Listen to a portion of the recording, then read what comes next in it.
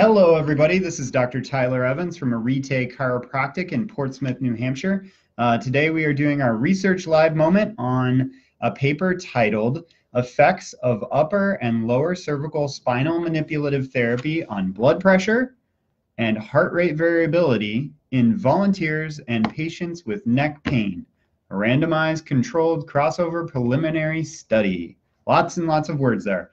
Um, and actually, this paper has lots of facets to it, has lots of interesting little tidbits. Um, so I'm going to give a quick breakdown on it. Um, and really, the the uh, the takeaways of this paper are, um, you know, they adjusted the neck and they were looking to well, and this was done uh, not uh, necessarily by chiropractors, but more um, uh, by manipul. It was more of a manipulation rather than a specific adjustment. Um, so they were working on the upper neck, the upper cervical spine, and the lower cervical spine, so down here. And they saw changes in how the heart rate was uh, and how the um, blood pressure was. And then they also saw changes in neck pain, which that's kind of uh, you know clear is uh, you have a problem in the neck, you adjust it, and that might help. Um, but why did it help with uh, changes in heart rate and blood pressure?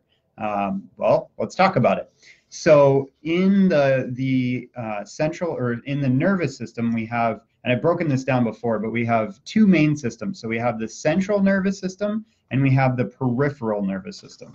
And so that looks something like this, where we have, whoop, a little out of focus there. See if it'll focus.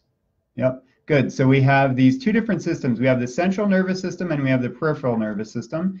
And the central nervous system is made up of the brain and the spinal cord, but the PNS is made up of basically, it breaks down into two different divisions the autonomic nervous system, which has the sympathetic and parasympathetic, the fight or flight and the rest or digest. So that's what we're going to talk about today because when we look here, um, we've got the parasympathetic and the sympathetic systems that control how the heart rate goes. So accelerated heart and then slows the heart, right? And that's parasympathetic and sympathetic. And then it also does a lot of other things on the inside like digestion, uh, breathing, uh, glandular secretion, um, all kinds of things, immune function.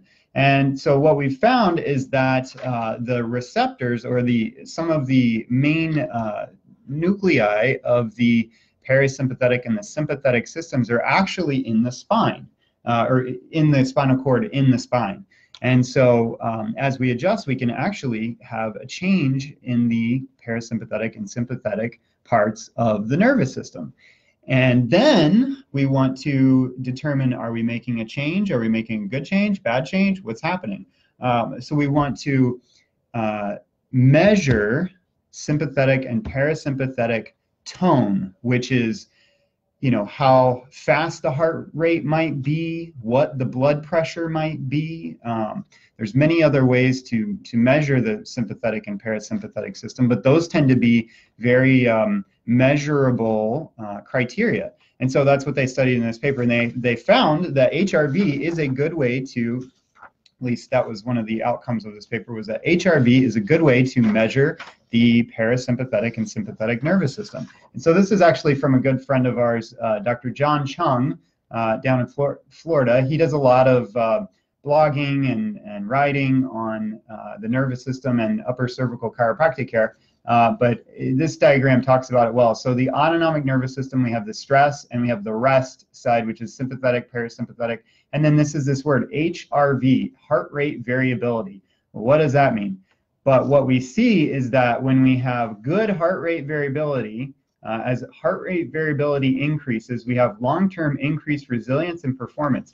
And when we have low heart rate variability, variability we have long-term chronic stress and illness. Um, and those are regulated by that sympathetic and parasympathetic nervous system. What is HRV? So HRV here. Um, now, HRV is a very complicated, uh, there's many facets to it. There's many way, different ways to measure it. Um, and this uh, picture is just kind of a quick glimpse, but basically it's measuring over time how the heart is beating. So the pattern, the, the uh, QPRS wave. And so what we've got are these this pattern that you see. You know, most people are familiar with this pattern, and you can measure. So the first one is 0.659 seconds uh, with 70 beats per minute. The second one is 7, uh, 0.793 seconds at 76 beats per minute. And then the third one is 0.726 seconds at, uh, I think that's 63 or 83 beats per minute.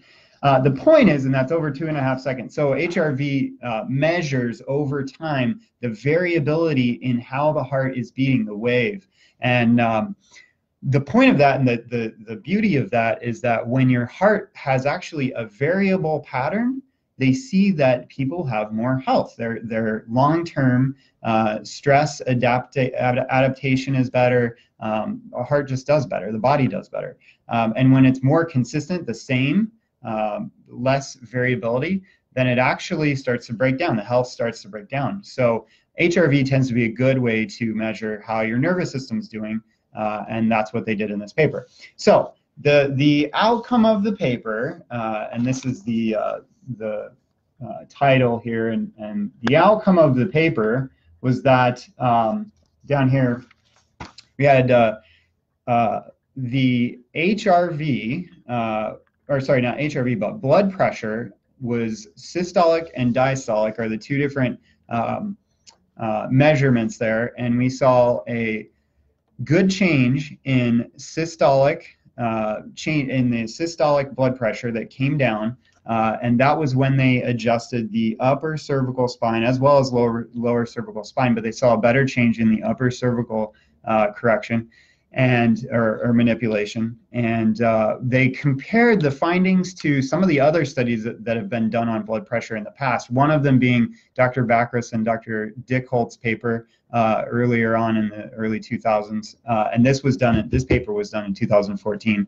Uh, so it was right around the same time that Dr. Dick Dickholtz and Dr. Bakris did their paper. Um, and so the, the the finding was interesting because they were trying to reproduce or replicate and see you know, if they could reproduce similar findings to what Dr. Dickholtz did. And, and uh, the interesting thing about that is Dr. Dickholtz's paper was very well done with a prestigious center in Chicago that, that Dr. Bakris, um, a medical doctor that uh, measures blood pressure on his patients and, and treats, uh, you know, high blood pressure, hi- hypertension, and uh, hypotension cardiovascular guy, and uh, they found good change in upper cervical correction uh, not only bringing uh, hypertension down, so blood pressure down, but hypotensive patients up to more of a normal uh, place. And what they found in this paper was that it, they didn't find the same thing.